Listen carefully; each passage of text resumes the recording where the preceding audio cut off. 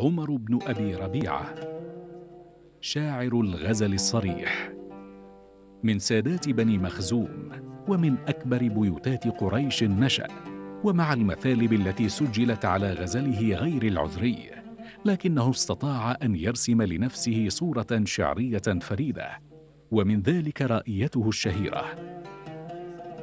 أمن آل نعم أنت غاد فمبكر. غداة غد أم رائح فمهجر. لحاجة نفس لم تقل في جوابها فتبلغ عذرا والمقالة تعذر.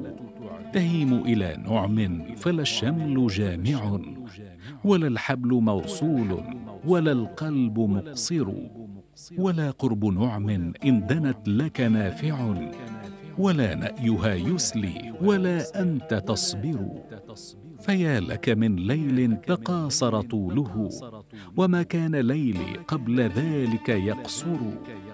فحييت إذ فاجأتها فتولهت وكادت بمخفوض التحية تجهر.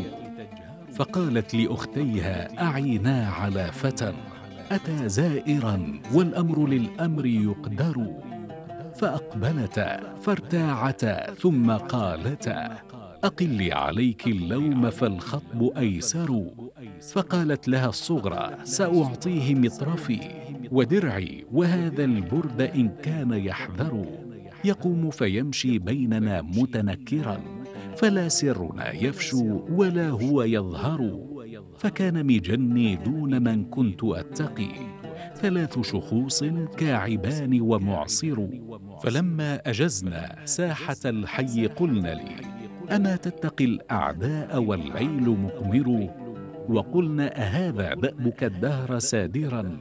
أما تستحي أو ترعوي أو تفكر؟